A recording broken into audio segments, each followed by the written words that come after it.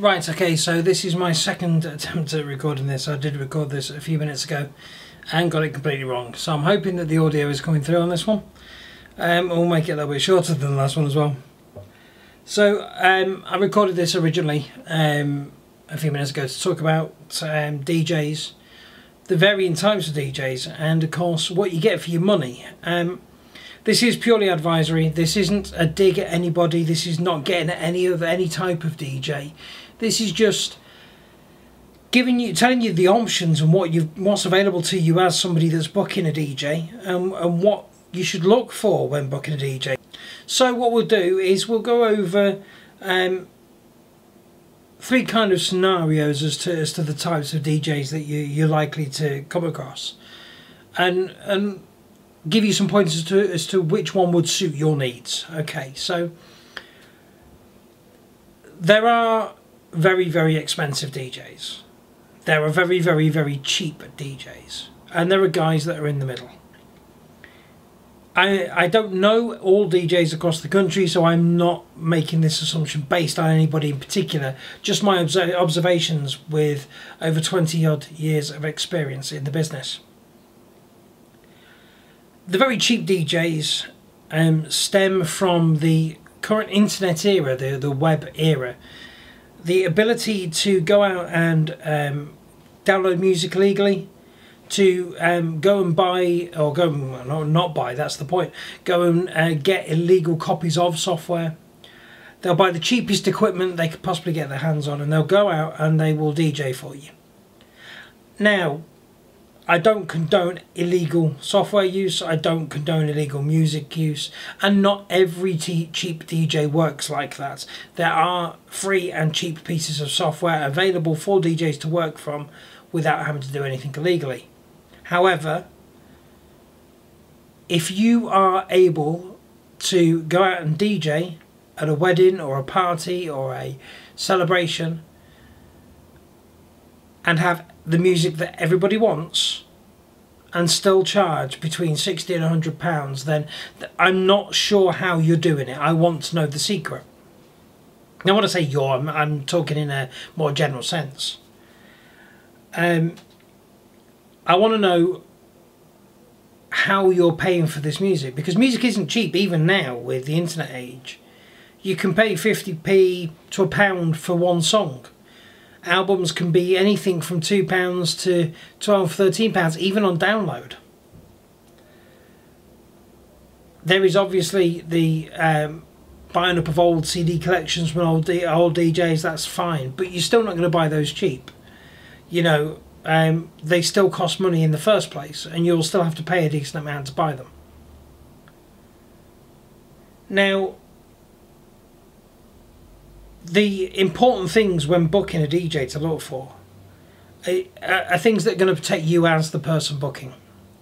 So what we're talking about is stuff like contracts.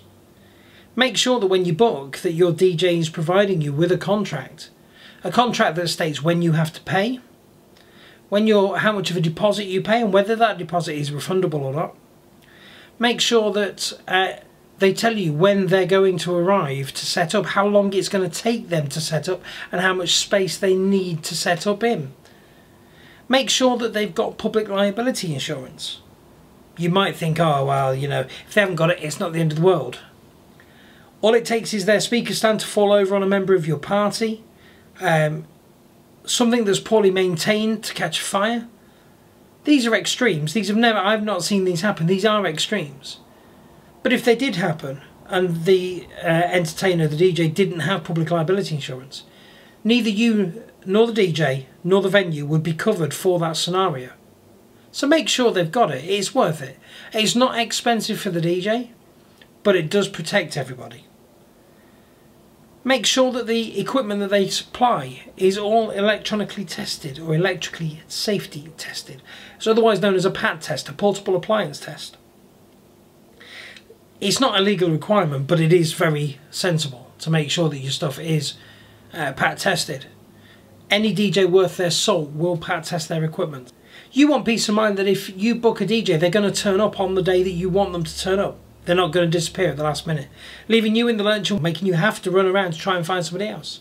You'd be surprised how often this happens. This happens a lot more than you would think.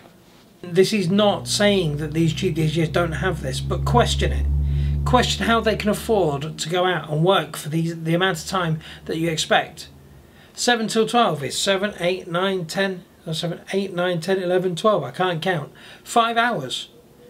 If they're coming out to you for £60, £70, £80 for five hours, how are they affording to fuel their car, maintain their equipment, get the public liability insurance, buy their music, and make sure you have a good time within that fee. How is that? How are they? How are they able to do that? There are DJs out there that do it for a hobby, but they will still have decent equipment. They'll charge an average rate of around between 150 and 180 pounds, somewhere like that. They'll have public liability insurance. They'll have a, a, a PATS test certificate. They'll turn up and they'll do you a great job. These are what a lot of sites refer to as a low-end DJ. They're not a poor DJ, they're a good DJ. But because it's a hobby, they don't necessarily spend all the time and money invested in their equipment and so on. They're not bad. There, there is nothing wrong with these types of DJs. There is absolutely nothing wrong with these types of DJs. I stress that. And if they suit your event and your night, then go ahead, book them, use them. I know a lot of them that do a very good job. So, you mid end DJs, what will they provide you that a low end DJ won't? Very little, to be honest. There's not much in it between the DJs. It's about the level of service you get with the DJ as much as it is about what the DJ does. For example, um, we've said before with the with the what we call what the website is called the low end DJ. You'll pay 150 to 180 pounds. You'll get your PLA, your PAT, your um, your contracts will, will most likely be in place. With a mid range DJ, you'll get those same items, but you'll get things like you'll get a personalised service from that DJ. You'll get um, a visit from the DJ usually uh, a month before, making sure that they know exactly what you want from your event, what music you want, what your if it's a wedding, what your first dance is going to be, making sure that they've got everything they need to fulfill your needs. They'll make sure they have the right lighting, the way you want the lighting to be. They'll make sure that they have the right sound system to suit the night that you have. They will usually have two or three different types of setup to make sure that they can adjust to the room or the venue that you've got. So that if you've got a small venue, they can provide a small setup, but they can still provide that high level of service and make you feel like it's a bigger a bigger venue. If it's a big venue, they'll provide you the bigger setup to suit that venue. They usually won't tend to go towards the corporate type of events. They will usually stick to your weddings, um, birthdays, celebrations, those kind of things, where there's a usually between 100 and 200 people. Uh, this is just this is just my my observations, as I said before. And then you get your high-end DJ. Now your high-end DJ can cost you anything up to a thousand pound for the same period of time. But what are you getting with those high-end DJs? They take it to the next level. They make sure that every last little thing you need is catered for. They will usually be able to provide stuff like starlit dance floors. They'll be able to provide uh, specific um, light effects. They'll be able to provide the dancing on a cloud type approach where you get the smoke, the, the low lying dry ice across the dance floor.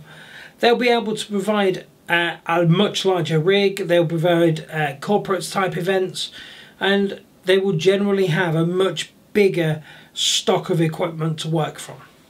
These guys are usually uh, the guys that do this professionally for a living. They do nothing else. They are purely entertainment companies. The mid-range guys will usually be somebody that's either doing it full-time professionally but sticking to the smaller end of the market or there'll be people that have full-time jobs that do this as, a, as an add-on earner without it being a hobby putting some serious thought into it the lower end DJs will do it as a hobby. They'll do it for a bit of extra cash, but it's a lot less serious. Um, none of my remarks on this video are aimed at being horrible to any particular type of DJ. But make sure that you pick the right DJ for your event. Make sure that the person that you meet, and I say that really, I mean that, you've got to meet these people. Meet your DJ, find out who he is, Find out who she is. Find out what experience they've had. Find out what kind of DJing they do.